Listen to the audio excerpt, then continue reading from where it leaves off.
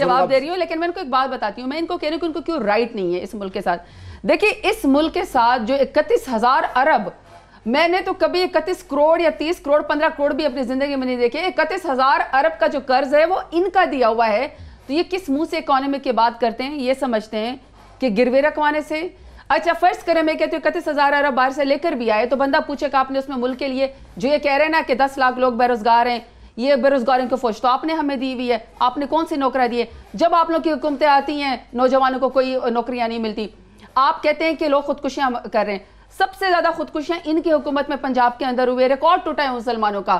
ماؤں نے نہروں کے میں جو ہے بچوں سے میں چھلانگیں لگائی ہیں، ان کی وجہ سے لگائی ہے۔ ان کا کوئی پروجیکٹ کامیاب نہیں ہوا۔ اکتیس ہزار ارب کا قرضہ لیا تو صرف ہم ان سے سوال پوچھتے ہیں، اگر آپ نے لے لیا، آپ نے ہمارے آنسو بیچے آپ جا کے وہاں پہ گئے۔ وہ یہ کہہ رہے ہیں۔ میں نہیں میں یہ کہہ رہی ہوں کہ اس کا کیا کیا؟ وہ کہہ رہے ہیں کہ دس ہزار ارب کا تو آپ نے بھی لے لیا۔ نہیں نہیں نہیں میں اب میں اس کا بھی بتاتی ہوں۔ انہوں نے جو اس کا وہ قرضہ لیا میں صرف یہ پوچھتی ہوں کہ اس ملک کے اندر کوئی انفراسٹرکچر کوئی چیز کوئی ہاسپٹل کوئی کالج کوئی یونیورسٹیز تو آنی چاہیے تھی نا جس ملک کے اندر وہ انہوں نے قرضہ لے کے بنایا۔ لیکن اس قرضہ لے کے انہوں نے کیا بنایا؟ آپ خود سوچیں مے فیئر کے فلیٹ بن گئے دبئی کے وہاں پہ ٹاورز بن گئے۔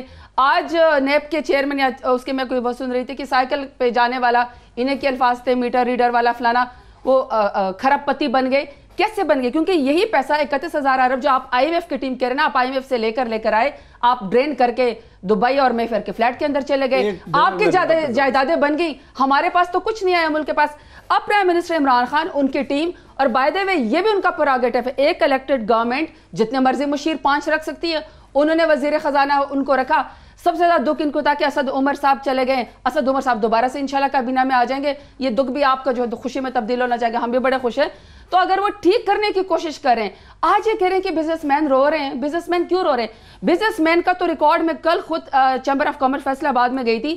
تمام بزنس مین کہتے ہیں کہ پہلی دفعہ حکومت نے سارا کا سارا ریبیٹ ہمیں واپس کیا، ہمارا کوئی ریبیٹ نہیں، کسی گورنمنٹ نے نہیں دیا۔ ان کے سارے حکومتہ کا ہم نے سارا ان کو ریبیٹ زیرو کر کے دیا ہے۔ اور یہ ٹیکس کلیکشن کی بات کرے کہ عوام کے اوپر بوجھے، ایک پرسنٹ لوگ، آپ لوگ چار چار ہزار ان کے پاس آٹھ آٹھ سو کے میفر لیتے، چار چار ہزار روپے یہ لوگ ٹیکس دیتے تھے۔ تو پاکستان کا ایک طبقہ جو ہے، پورے پاکستان کا بوجھ نہیں اٹھا سکتا۔ Twenty five percent domestic collection ہوئی ہے۔ پہلی دفعہ پچیس لاکھ جو ہے وہ فائلر پاکستان کے اندر آئے۔ اگر ہم ایگزیکٹلی اگر ہم اس کو بڑھانے کی کوشش کریں لوگوں کو ریئلائزیشن ہو رہی ہے۔ وہ جنرل باجوہ صاحب کے پاس آئیں ہمارے پاس آئیں۔ ہم ایک پیج کے اوپر بیٹھے ہوئے ایٹ لیسٹ ہم آپ کی طرح کی گورنمنٹ نہیں ہے۔ الحمدللہ فوج اور وزیر اعظم صاحب ایک پیج کے اوپر ہے اور ان کو جنرل باجوہ صاحب نے کیا کہا ہے؟ اچھا، یہی کہا کہ آپ اس حکومت کے لیے آسانی پیدا کریں۔ جی عباسی صاحب یہ کہتی ہیں کہ آپ ہی ذمہ دار ہیں تو آپ کے پاس حق نہیں ہے الزام دینے کا۔ ابھی نہیں نہیں بلکہ انہیں ایکسپٹ کریں کہ ہم نے اس ملک کے ساتھ کیا ہے۔ اب یہ لوگ اس کو ایکسپٹ کر لیں تھوڑا سا۔ ایکسپٹ ہی کر لیں۔ اکتیس ہزار عرب اب بولنے دے دو ایکسپٹ کر میں تو اکتیس ہزار عرب کے لفظ کو سوچتی رہتی ہوں کتنا قرضہ آپ نے لیا ہے؟ ایک تو اچھا اور بتائیں چالیس سال میں کتنا ہاسپیٹل بنائے اور جب آدمی غصہ کھانا شروع کر میری منسٹری چینج ہو رہی ہے مجھے کوئی غصہ نہیں ہے۔ منطق سے ذرا دور چلا جاتا ہے۔ میں کہتا ہوں جی ہم برے تھے۔ ہم میں کہتا ہوں کہ ہماری اکانومی جو تھی ہماری ٹیم تھی وہ بری تھی۔ ہم کچھ نہیں پاکستان میں کر سکے۔ ساری بگاڑ ہمارے وقتوں میں تھی۔ ہم ساری پھر زیادہ صاحب for the sake of argument ایک دفعہ مان لیتے۔ جو وعدے عمران خان نے پاکستان کے لوگوں کے ساتھ کیے تھے، جو عمران خان نے جو لوگوں کو خوابیں دکھائی تھی جو اس جماعت نے خوابیں دکھائی تھی جو انہوں نے کہا تھا کہ ہم آئیں گے تو قیمتیں سب سے کم کریں گے، قیمتیں۔ پاکستان کی تاریخ میں ایک سال میں کتنی قیمتیں نہیں بڑھی ہیں جتنی انہوں نے بڑھائی۔ ہیں عمران خان نے کہا تھا، میں آؤں گا تو میں پچاس لاکھ گھر شروع کر دوں گا۔ ایک اینٹ وہ نہیں لگا سکا۔ عمران خان نے کہا تھا ذرا میں ایک میں نے زیادہ صاحب ادھر پھر۔ انہوں نے کہا کہ مجھے وقت دیں میں ایک کروڑ نوکریاں دوں گا لوگ باہر سے نوکریاں لینے کے لیے آئیں گے۔ آج مجھے پتہ ہے کتنی باہر سے لوگوں کی نوکریاں کی لینے لگی ہوئی پاکستان سے کس طرح باہر باہر جا رہے ہیں پھر انہوں نے کہا کہ میں ڈیم بنانے لگا ہوں اس میں چیف جسٹس کی بھی آخرت خراب کی اور ساکب نصار کی۔ سب نے پیسہ بھی ان کو خود بھی بڑا شوق بڑا شوق تھا۔ یہ پیچھے کھڑے ہو گئے۔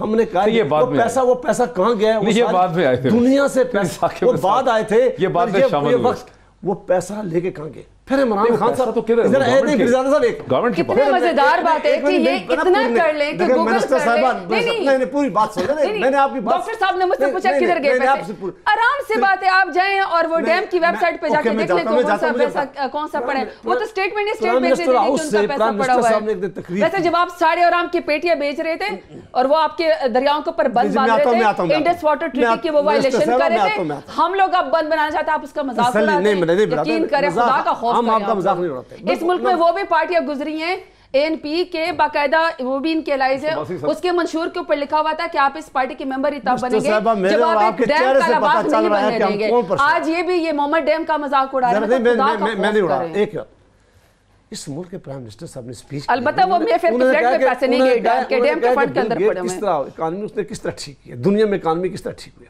انہوں نے کہا میں اور سارے دوڑتے دوڑتے گئے کنونشن سینٹر میں کہ بہت بڑی اہم پالیسی دینے والے تھے میرے خیال ہے گوہر اجاز صاحب نے انہوں نے انہوں نے کہا جی کہ آپ چار چار مرغیاں دیسی مرغیاں دیسی انڈے میں یہ چاہتا ہوں کہ سب کو دیں۔ پہلے میرے وزیر شروع کریں گے پھر میرے ممبر شروع کریں گے۔ ہم نے کہا یہ بہت اچھا ہے اگر اکانومی ٹھیک ہو سکتی ہے۔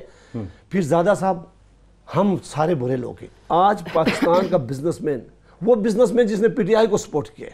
ہمارا بزنس مین بھی نہیں۔ یہ بلو ایریا میں چلے جائیں چیمبر آف کامرس میں چلے جائیں یہ ابھی سو آپ کے بزنس مین سب ہمارے ساتھ اس طرح پاکستان کا بزنس مین اور پاکستان کے لوگ کبھی پریشان یہ جو آج پریشان ہیں۔ آج معاشی جو بحران ہے پاکستان کے اندر اسپتالوں میں مفت دوائیاں ملتی تھی وہ بند ہے۔ انہوں نے قیمتیں ہر چیز کی اتنی مہنگی کر لی ہیں۔ پھر دنیا کے لوگ آتے ہیں اور بزنس مینوں کو ریلیف دیتے ہیں۔ بزنس مین چلتے ہیں۔ آج آج گوھر اجاز صاحب نے ہمیں جوائن کیا۔ سابق چیئرمین ہیں ایپٹما کے کل آرمی چیف کے ساتھ جو میٹنگ تھی پاکستان کے بزنس ٹائکونز کی اس میں گوھر اجاز صاحب بھی شامل تھے۔ گوھر اجاز صاحب السلام علیکم۔ وعلیکم السلام۔ یہ کیا وجہ ہے کہ آپ لوگ نے گوھر صاحب آپ نے سیدھا آرمی ہاؤس کا مطلب رخ اختیار کیا؟ آپ کو تو آ کے پرائم منسٹر سے ملنا چاہیے تھا پھر آپ لوگ مل کے چلے بھی گئے۔ آج پرائم منسٹر سے جن لوگوں نے ملاقات کی اس میں غالباً آپ نہیں تھے۔ آئی تھنک جو ہے پہلے تو پرسپشن ٹھیک کر لیں۔ کہ آرمی چیف ریگولر انٹریکٹ کرتے رہے ہیں جو ہے وہ بزنس کمیونٹی کے ساتھ۔ آج سے نہیں پچھلے دو سال سے۔ اور یہ ریگولر انٹریکشن ان کی جو ہے وہ انہوں نے اگر آپ کو یاد ہو تو ہم نے کراچی میں بہت بڑا اکنامک جو ہے وہ سیمینار کروایا تھا۔ مجھے یاد ہے۔ جی اکنامک سیمینار کیا تھا۔ تمام اکانومی کے اینالسٹ بنائے تھے اور بتایا تھا کہ ہماری ایکسپورٹس کیسے ٹوٹ رہی ہیں۔ پچیس بلین کی اس وقت اکیس ہو گئی تھی کیسے امپورٹ ہماری جو ہے وہ تریسٹھ پہ چلی گئی ہے؟ ڈفرینشیل بیس بلین ڈالر کا ہو گیا ہے کرنٹ اکاؤنٹ ڈیفیسٹ کا۔ اور ہم نے یہی بتایا تھا کہ جب تک ایکسپورٹ لیٹ گروتھ نہیں ہوگی اس وقت بھی ہم اور اکنامک سیکورٹی جو ہے وہ نیشنل سیکورٹی ہے۔ اور یہی ہم نے دیکھا کہ جب ہم نے مینیفیسٹو پی ٹی آئی نے بنایا تو اس میں اکنامک جو تھی وہ سب سے پرائرٹی تھی اور ہے ابھی بھی۔ اور ایکسپورٹ لیٹ گروتھ جو ہے وہی ایکسپورٹ گروتھ لے کے جو ہے اس کو لے کے ہم آگے چل رہے ہیں۔ ٹھیک ہے۔ نمبر ون تو یہ جو انٹریکشن ہماری پرائم منسٹر صاحب کے ساتھ میرے خیال میں ہر مہینے ہوتی ہے۔ اور جتنی انٹریکشن ہماری ان پرائم منسٹر عمران خان صاحب سے ہوئی ہے اتنی شاید کبھی آج تک ہسٹری میں نہیں ہوئی ہماری۔ کسی پرائم منسٹر سے؟ پانچ سال میں ہوتی۔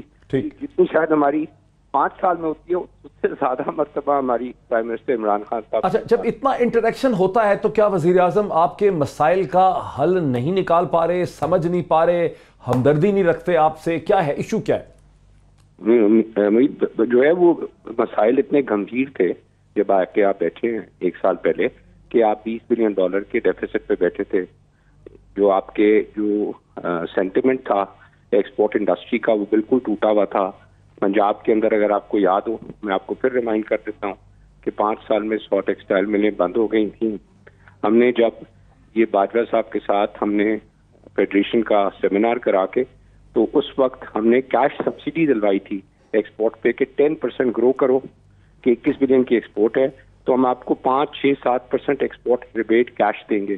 ٹھیک ہے۔ جس کے بعد ہماری ایکسپورٹ دو ہزار اٹھارہ میں سوا تیئیس بلین ڈالر پہ بند ہوئی۔ اور اس پورے سال میں جب سوا تیئیس ہوئی تو اب ہم اپنی کیپیسٹی پوری چلا رہے تھے یہ سال کا جو بیسک ایشو تھا کیا تھا؟ سب سے پہلے پنجاب کا ایشو تھا انرجی کرائسس کا۔ تو آتے ساتھ پرائم منسٹر عمران خان صاحب نے اٹھائیس ستمبر دو ہزار اٹھارہ کو پہلی کیبنٹ میں یہ کہا کہ میں پنجاب کو ساڑھے چھ ڈالر اور ساڑھے سات سینٹ کے گیس اور بجلی کے ریٹس دوں گا جو انہوں نے مینیفیسٹو میں کمٹ کیا تھا۔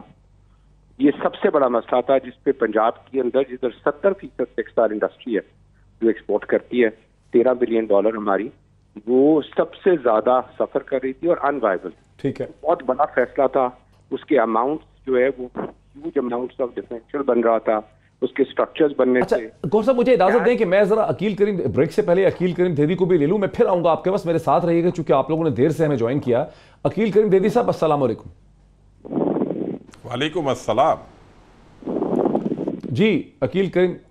عقیل کریم جی صاحب، یہاں اسلام آباد کے سیاسی اور سفارتی حلقوں میں یہ سوال اٹھ رہا ہے۔ گوھر گوھر صاحب نے ایکسپلین کیا کہ پہلی دفعہ نہیں ہوئی میٹنگ دو ہزار اٹھارہ میں بھی ہوئی تھی۔